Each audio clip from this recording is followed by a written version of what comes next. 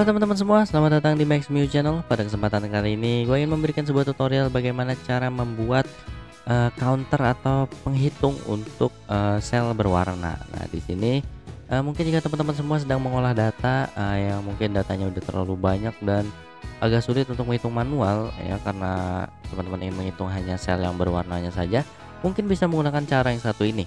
Ya, pertama kita bikin dulu untuk uh, perintahnya. Sebagai contoh di sini gue tulis misalkan highlight uh, cell. Begitu ya untuk uh, kalimat keterangannya ya, biar kelihatan. Nah kemudian di sini kita kasih formula yang namanya uh, sama dengan subtotal buka kurung 2 koma kemudian kita drag pilih ya yang ingin di uh, kasih uh, sampel untuk uh, perhitungan ya. Kemudian kita tinggal enter aja langsung.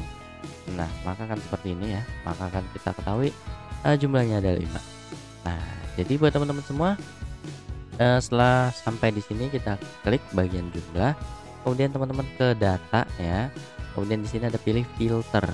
Nah setelah itu ya udah klik tanda panah di sini. Kemudian teman-teman pilih filter by color. Nah warna apa aja yang digunakan itu tergantung dari data teman-teman miliki.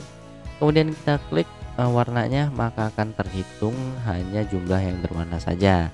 Dan jika kita balik misalkan yang uh, tanpa fill atau tanpa warna maka akan seperti ini oke? Okay? Jadi mungkin itu aja untuk tutorial kali ini. Semoga bisa membantu teman-teman semua pastinya.